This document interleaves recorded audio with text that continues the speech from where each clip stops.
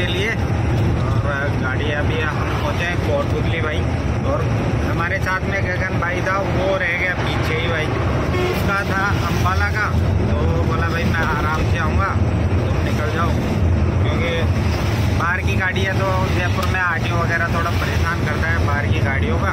तो अपनी तो लोकल में आती है तो हमें ज़्यादा दिक्कत नहीं होती। इसलिए वो पीछे रुक गए थे किसनगढ़ से पीछे ही रात में। तो बोला, भाई, मैं आराम से आऊँगा। वाला जो टाइम से पहुँच जाएँगे वो। तो भाई अभी हम पहुँचे हैं फोर्ट बुकली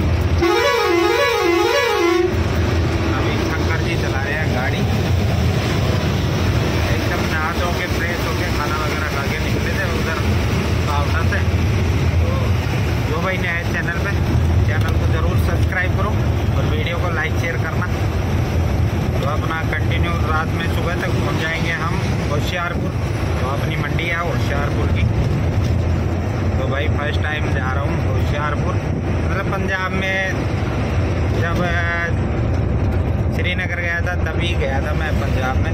उसके बाद अभी तीन चार चक्कर से केले पे चल रहे हैं। तभी देख रहे हैं, बाकी पंजाब कभी गया नहीं था मैं। मेरे तेरह साल के गए हैं मैं तो चलते हैं चलते हैं सफ़र कंटिन्यू तो बने रहना पूरे ब्लॉग में। तो दोस्तों, ये है भाई नारनौल के लिए, और ये सीधा दिल्ली जयपुर हाईवे। और ये हम घूम गए नारनौल के लिए। वहाँ से नारनौल से जाएँगे फिर अम्बाला नारनौल हाईवे पे, एक सौ बावन डी पे, नेशनल हाईवे एक सौ बावन डी। तो और भाई इधर हो रही है बरसात हल्की हल्की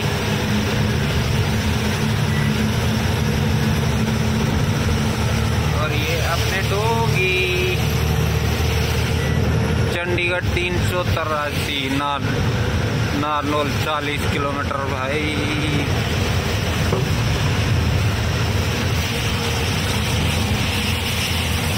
मौसम हो गया बिल्कुल सुहाना भाई। गर्मी का एहसास नहीं है अभी। हल्की हल्की बूंदाबांदी हो गई। ठीक हो गया काम।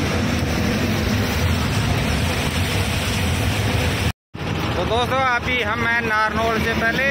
शंकर जी! और ये आया है भाई आज हमारे से मिलने सद्दाम सद्दाम खान। तो इसकी है भाई टायर पंचर की दुकान, जो कि अब ब्रिज के नीचे। तो अभी ये चाय वगैरह लेके आया है और ये काफ़ी बार कॉल कर रहा था कि भाई यार मिल के जाओ मिल के जाओ। तो आज इसके साथ में मिलने का टाइम लग गया टाइम से आ गए यहाँ पे। तो अभी इससे मिलते हैं, चाय वगैरह पीते हैं, फिर निकलते हैं भाई यहाँ से। और अभी बरसात में हो गई, अपनी गाड़ी की हालत ख़राब। पूरा मतलब गंदा हो गया। तो अभी भाई के साथ में मिलते हैं। बातें चीज़ें करते हैं। और भाई, अभी मौसम हो गया बिल्कुल चिल, ठंडा, बरसात की वजह से। ओ भाई, ये देखो मौसम। ऐसा खतरनाक मौसम हो गया। अभी बरसात का बेटे बरसात आएगी ज़बरदस्त। और ये भाई नारनौल टोल प्लाजा आ गया। बीस प्लाजा, एक किलोमीटर। तो भाई, इस साइड में बरसात हो रही है, काफ़ी शानदार। जिस हिसाब से मौसम हो गया। अम्बाला है, यहाँ से 316 किलोमीटर।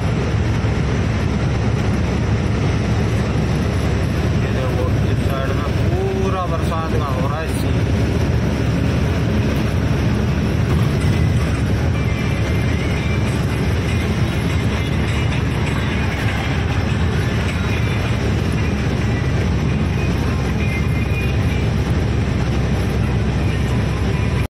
तो भाई ये है शेर पंजाब ढाबा, एक्सप्रेस पे।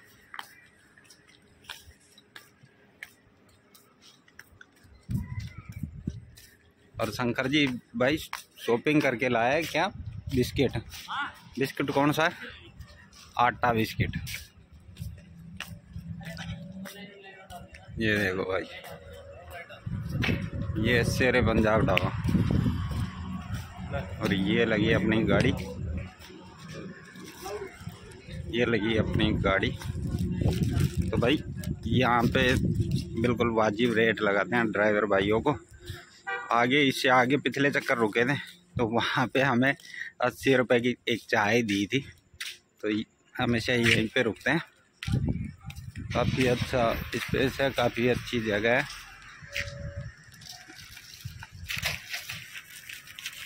देख रहे हो? और भाई, यहाँ पे ना मस्त पार्किंग की सुविधा भी है। एक नंबर। अभी काम चल रहा है और पीछे की साइड में। तो भाई अभी अपना यहाँ से सक सफ़र था तकरीबन तीन सौ किलोमीटर का है। तो अभी यहाँ से निकलते हैं और आगे कहीं होटल वगैरह पे खाना वगैरह खाएँगे। तो अभी चलते हैं, शंकर जी आने वाले। तो भाई इस साइड में है ये इंडियन ऑयल का पेट्रोल पंप यहाँ पे। मतलब हर सुविधा एक ड्राइवर को चाहिए, वो पूरी है यहाँ पे। तो चलो अभी निकलते हैं यहाँ से। तो दोस्तों फाइनली पहुँच गए भाई होशियारपुर। और भाई मैं उठाऊँ अभी। ये देखो सुबह सुबह ये इंसान कितने केले लेके आए शंकर जी तीन तीन। तीन केले लेके आ रहा है सुबह सुबह और भाई फुल डाइट पे ध्यान दे रहा है। आप कमेंट करके बताना, मेरे पास आने के बाद मोटा लग रहा है कि नहीं? कितना खाता ना, शंकर जी, फ़र्क तो तो भाई, अभी रस्सा तिरपाल खोल के कर दिया कंप्लीट तो अभी, और भाई, हम जलालाबाद तो सॉरी होशियारपुर मंडी के बाहर गेट के पास में। तो अभी खाली करने के लिए लेबर लोग लगेंगे।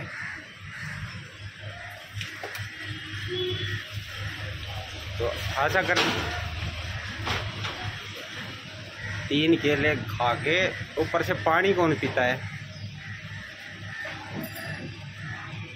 देखो भाई, ये फिर बोल रहा है, मैं डाइट पे ध्यान दे रहा हूँ। केला खा के पानी की बोतल गटक गया।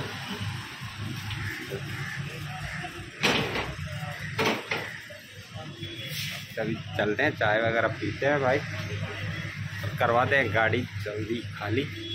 तो भाई मैं सोया हुआ था रात में और शंकर जी चला रहे थे। अम्बाला तक तो आया था मैं, उसके बाद शंकर जी चला रहे थे। मेरे को तो यहाँ पहुँच के उठाया। तो आपको बीच वाला सफ़र भी नहीं दिखा पाया। तो वो कोशिश करूँगा अब जाने में आपको पूरा शेयर करूँ। तो फिर मिलते हैं अगले ब्लॉग में। तब तक के लिए टेक केयर अपना ध्यान रखें।